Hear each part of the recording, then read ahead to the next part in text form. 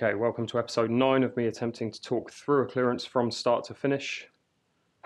Um, so we're looking at both balls. Obviously the first ball on yellows is this one, first ball on reds is this one. So from there we figure out which are the problem balls. So balls that I don't love on yellows, that does go, so it's not a huge problem. I don't love this red, but again, if I can say land here, I can play onto it and land it for the middle. I'm thinking just where there's a little bit of congestion with yellows, I'm going to go with reds here. There's a little bit more space between all the balls. So what I'm going to do is, this is definitely the last red, I think, and this will allow me to get onto the black. So from here, from there, I'm going to put that red in the middle and leave the cue ball here. Then I'm going to play this red to the middle, leave the cue ball here. I'm going to play, well no, that's not a good idea actually. I don't want too much of an angle from this ball to this ball.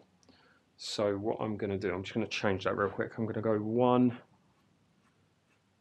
Hmm. It's a little bit awkward, all because this yellow is just slightly in a slightly awkward position. So just going to change the order of these three. Now these three finishing balls, they're the key. If I can land perfectly on this red, it will allow me to finish up these two, but I have to be perfect. So what I'm going to do, play red in middle, same two balls to start. Red in the middle there, and then here. So the three balls at the start are, should be fairly easy. I'm going to play this red, and I'm going to play it in such a way that leaves me an angle on this ball here. Now obviously if I just play that plain ball, it's running into this red, which I don't want. So what I'm going to do is I'm going to use a bit of backspin to screw over to here and take this red in the opposite pocket. Then I'm going to screw back to here, play this red in a way that just allows me to kick into this yellow and pop the black in the same middle pocket.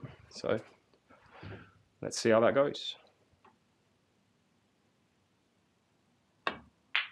Okay, so again, the first three balls are fairly easy. Just need to make sure the angle on this ball want to be pretty straight on this third red.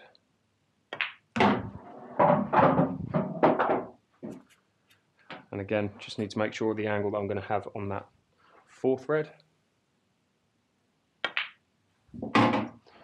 And now again, I'm just going to try and screw over to around this area for this ball.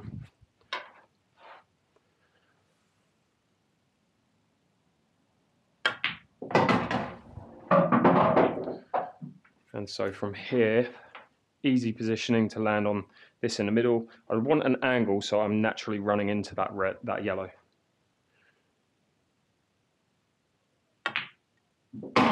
So perfect angle. So I know the cue ball is going to go into that yellow and leave me on the black. Just need to make sure of the red.